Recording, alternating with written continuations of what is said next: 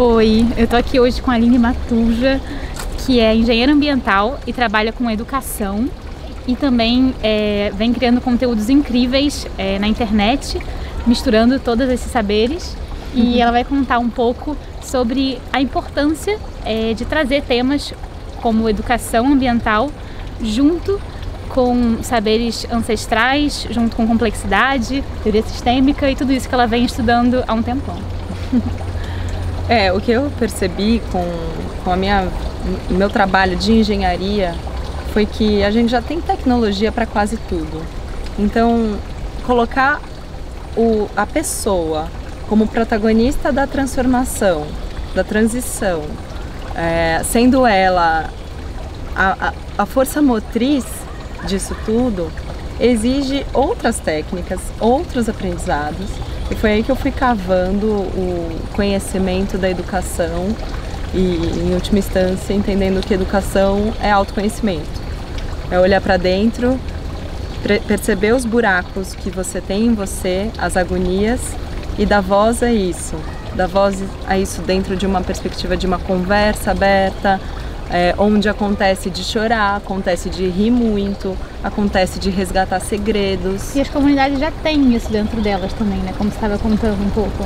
É, as comunidades nós todos, né, que a gente, em qualquer lugar que a gente esteja, a gente está numa comunidade, em qualquer lugar a gente está numa bacia hidrográfica. Então, é, a gente tem essa coisa de um saber sistêmico que não está organizado, não está escrito, mas que já funciona para muitas coisas. Sim. Então acho que a, o pulo do gato, que, o que a gente tenta fazer é como é que a gente traz essa inteligência para falar dos temas onde, onde existe ali um buraco, onde existe um espaço grávido de possibilidades para que a gente construa uma coisa nova, uma transição para a sustentabilidade que a gente precisa, sabe? E o que você acha que é mais difícil, assim, mais desafiador trabalhando com esse assunto no Brasil, onde tanta gente não tem esgoto, tantas questões ainda tão básicas não, não estão supridas né, pelo, pelo governo, por tudo isso. Eu acredito que a, os buracos ambientais que a gente precisa preencher com, com, a nossa, com o nosso devir, eles são buracos que estão muito associados a medos. Uhum. Então, seja medo das mudanças climáticas que estão chegando, vamos supor, ou medo da doença, da falta de saneamento, ou então o medo de olhar para si próprio e entender a sua vulnerabilidade para lidar com aquilo. Então, o que eu tento fazer através do humor, por exemplo, uhum. é quebrar algumas coraças de medo que a gente tem e assim, no final das contas, a pessoa no mínimo deu uma boa risada, Sim, sabe? É. E uma coisa muito interessante do trabalho da Aline e que eu admiro pessoalmente muito é ela juntar esse conteúdo educativo com humor na internet, né? A internet é cheia de é, memes e situações onde às vezes o humor é usado de forma boba, né? E a Aline traz uma consistência, todo o trabalho dela como engenheira ambiental ali e hum, vocês podem seguir no Instagram.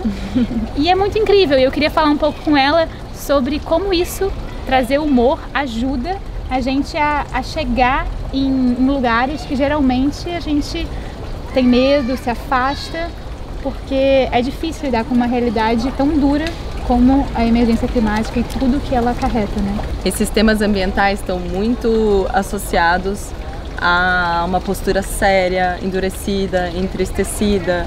Então, quando a gente traz o humor, a gente quebra essa coraça de tristeza e de medo, que é uma coraça que está imobilizando a gente, né? Então, no final, assim, acho que sempre que a gente ri é porque a gente se identificou com o que está sendo falado ali, de alguma maneira. A gente olhou para uma sombra então, o que eu tento fazer através do humor é que a gente olhe para a nossa sombra, para a nossa própria dificuldade de fazer a transição para um mundo mais sustentável e vamos rir disso para daí a gente celebrar essa, essa vulnerabilidade e a partir dela a gente construir uma possibilidade de mudança. Eu acho que o convite é muito esse, sabe? Perceber como parte do problema também, né? Total. Quando você vê que assim aquela situação do cotidiano aconteceu você na hora deixou passar batido porque ficou com medo, com vergonha de ter pego um plástico, por exemplo, né? um copo plástico, um canudo. As pessoas não comentam isso, está sempre muito relacionado àquela parte da, da mente punitiva. Pessoa, as pessoas estão começando a ficar com um sentimento de culpa toda vez que elas fazem, que elas pegam uma sacolinha de plástico, por uhum. exemplo. A gente tem que transitar dessa, dessa mente punitiva para uma mente proativa, uma mente Sim. que resolva olhar para isso, falar, ok, eu fui aqui uma pessoa que pode melhorar, como é que eu melhoro?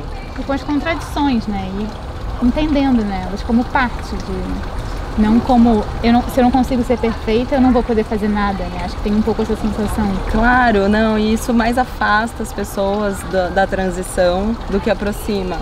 Então, o humor é uma, uma ferramenta para um milhão de camadas, assim, né? Mas o que eu gosto, assim, o, o, que eu fico mais feliz quando acontece é quando me mandam uma chuva, uma tempestade de ccks, assim. Uhum. Porque no mínimo a pessoa riu, teve uma, um bom momento na, no dia dela e quebrou um pouco essa coraça do medo ambiental, assim, da sociedade, sabe? E me conta o que é isso que você trouxe aí. Ah, eu trouxe isso aqui como um símbolo, um símbolo, um ícone do, de um projeto que tem ensinado muito a gente. Uhum. A gente está há três anos e meio é, construindo banheiros na casa de pessoas que não têm banheiros em casa. E dentro desse processo a gente entendeu o quanto esse intercâmbio é importante, uhum. né? O quanto a gente vai lá e aprende, por exemplo, a trançar um cesto de palha 100% biodegradável e que dura o tempo que ele tem que durar. Uhum. Né? Então eu saio daqui e vou para lá aprender isso. E ao mesmo tempo eu chego lá e eu me relaciono com mulheres que não têm um banheiro em casa. E se tem uma coisa que a gente tem desde sempre aqui, pelo menos eu sempre tive banheiro, nunca imaginei que alguém pudesse não ter um banheiro. Sim. Então é, um, é uma forma de se relacionar que tem sido muito rica. Eu fico imaginando, existem 2 milhões de mulheres sem banheiro em casa no Brasil hoje. Nossa, que número. Certamente a gente tem 2 milhões de mulheres aqui no Rio de Janeiro, ou em São Paulo, onde eu moro também, é, que têm banheiro e que poderiam construir essa ponte entre o que a gente pode aprender e ensinar e o que elas podem aprender e ensinar também pra gente. Então, queria agora, para fechar, falar um pouco sobre a pergunta capciosa sobre nesse momento difícil do Brasil e do mundo, o que você vê de mais ponto assim de chave para essa mudança e o que você já observou de muito difícil, muito desafiador mesmo no seu trabalho ao longo desses anos, com relação a saneamento, enfim, todas as questões macro que a gente enfrenta. Bom, antes de mais nada, a gente está dentro do sistema. A gente está dentro da lógica econômica e de desenvolvimento que foi criada, nessa crença, como dizia o Yuval, de que é assim que funciona. Né? Então uhum. a gente ainda foi criado para correr atrás do sucesso, que é um modelo de sucesso onde você é muito bem reconhecido financeiramente pelo que você faz. Agora, na transição, a gente precisa construir uma nova ideia de sucesso, né? E aí você vai ver como você vai ser visto como fracassado e, e, por outras óticas, de repente.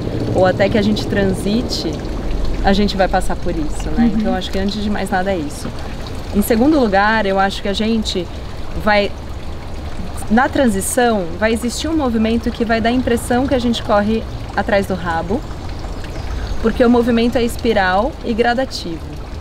Então vai dar a impressão. Não é assim, né? É, não vai, não é. não, de uma vez só, não vai. Para algumas pessoas funciona um salto quântico de sustentabilidade.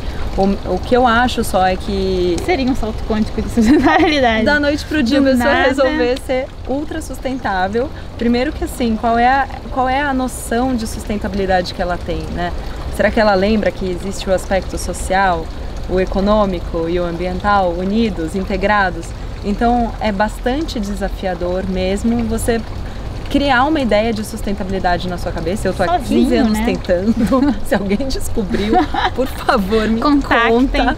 Mas é, é assim, acho que um salto quântico vai ser sempre numa perspectiva só e corre-se muito o risco de você dar esse passo grande que não se sustenta, porque você não construiu uma base que te permite ter um trabalho que, que tem uma lógica mais justa socialmente, de ter um impacto, uma pegada ecológica mais equilibrada com o seu dia a dia e assim por diante, né? Ou mesmo ser remunerado com um novo trabalho que você optou fazer porque você quis fazer uma transição para uma vida mais sustentável, né? Outras trocas monetárias, né, também. É, ou entender quais são as trocas é. possíveis nesse ambiente. Então, acho que é um processo, acho que sustentabilidade é um processo de autoconhecimento, como todos, como assim, está integrado com a maneira como você se alimenta, de onde você compra seu alimento, de quem você compra seu alimento, quando você compra. Então, é, são multicamadas, é realmente um assunto da complexidade.